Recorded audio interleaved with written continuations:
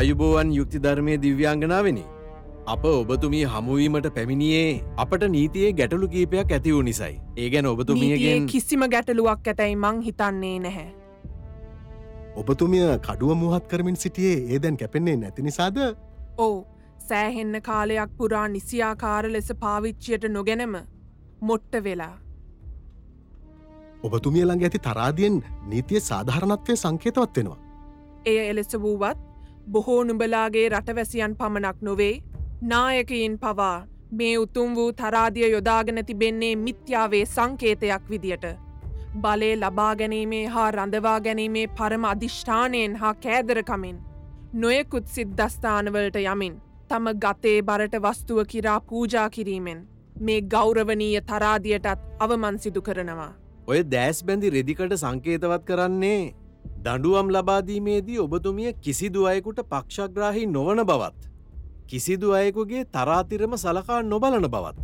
නමුත් උත්තමාවියනි අපි දකිනවා අද සමාජයේ බොහෝ අය විශේෂයෙන් දේශපාලඥයින්ට. ඔවුන්ගේ පුතුන්ට බලගතු අයට ඉතාම පහසුවෙන් නැප ලැබෙන බව. නෑ එය කිසිසේත්ම නීතියේ වරදක් නොවේ නීතිය පසිඳලන නුබලාගේම වැරැද්දක්. උත්තමාවියනි. සාක්ෂිදීමේදී කෙනෙකු මතක නැහැ දන්නේ නෑකී පමණින් ඔහුට එරෙහිව ඇති සියලු චෝදනාවලින් නිදහස් විය හැකිද. කිසිසේත්ම නොහැකි. එවැනි බොරු මානසික හොරුන්ට දණ්ඩනීති සංග්‍රහය අනුව නිසි දඩුවම් නියම කළ යුතුයි. එසේම උත්තමාවියනි තමන්ට එරෙහිව කරන වැරැද්දක් සම්බන්ධ පැමිණිල්ලකදී විත්තිකරු උසාවියට පැමිණ. තමන්ව අත්තඩංගුවට ගැනීම වැලැක්වීමට නියෝග ලබාගත හැකිද.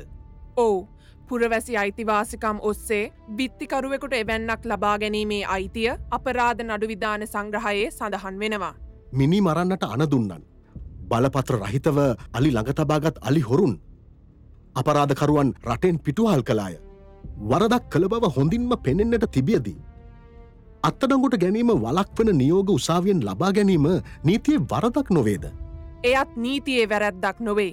නීතිය ක්‍රියාත්මක කරන නුබලාගේ සමාජ සංස්කෘතියේ වැරැද්දක්. රාජ්‍ය බාණ්ඩාගාරය ඇස් පනාපිට රිසිසේ කොල්ලකෑ කොල්ලකරුවන් තවමත් නිදැල්ලේ සැරිසරනවා. එවැනි අපරාධකරුවන්ට රැකවරණය සපේනවා. රටින් පැනයාමට උදව් කරනවා.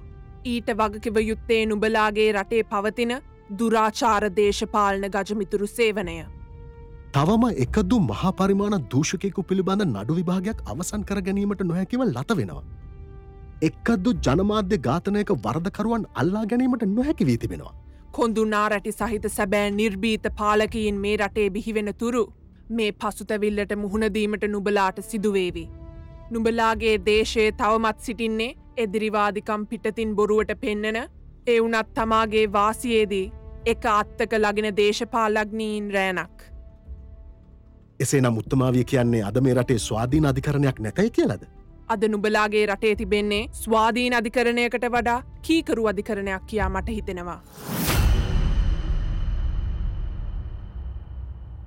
අද අපේ රටේ නීතිය දඟකෙට දමා අපරාධකරුවන් නිදහස් කරන රටක් විදියට කාටහරි හිතුනොත්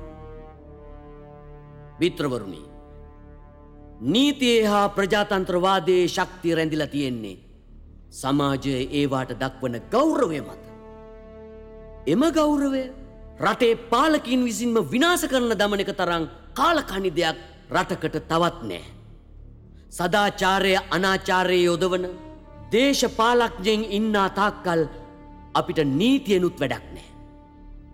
විය යුත්තේ රටක් හොඳ නීති යටතේ පාලනය වීමට වඩා හොඳ මිනිසුන් යටතේ පාලනය වීමයි.